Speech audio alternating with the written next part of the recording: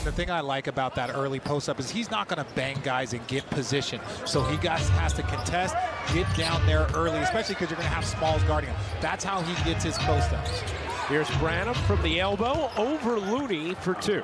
Right, those drills, those daily vitamins, that's a 15-minute period every single day you're coming in and doing, right? Every single day. And when you play for different coaches and you start to think about what you would do, that is something that I would do if I ever coach, which I never will.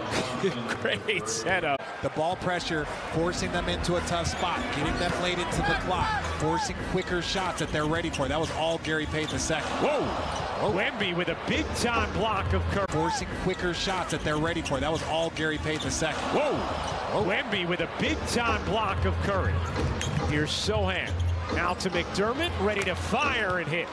Lineup, uh, it's dramatically different how much better the Spurs have been with Jones operating the point, as you might expect. But the Spurs not reacting to that. He has been the reason why they have won many of those games during that stretch. Sochan, not a beautiful looking. Thompson up to 13. Richard talked about it before as Branham can't hit the three. Klay Thompson did not score 20 in any games. Then had 20 points and then 23 last game, trying to make it happen for a third straight as Sochan can't finish. That like 68. There you go. That didn't work out for Sochan on the entry pass.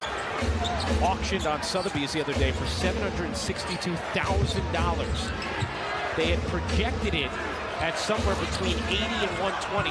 So they more than sextupled the estimations with the bid. When I see something like that, my immediate thought is what kind of money laundering is happening. So they more than sextupled the estimations with the bid. When I see something like that, my immediate thought is what kind of money laundering is happening. Boy, Podziemski is always in the mix on the glass. Here's Sochan. Gets free, lays it in on a nice delivery.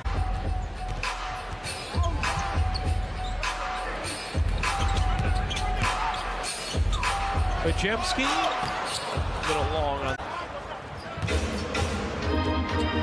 Sochan, jumbled up with Johnson there. Wemby, back iron no. The awareness off the ball when you end up on Steph Curry. Sell with an authoritative dunk.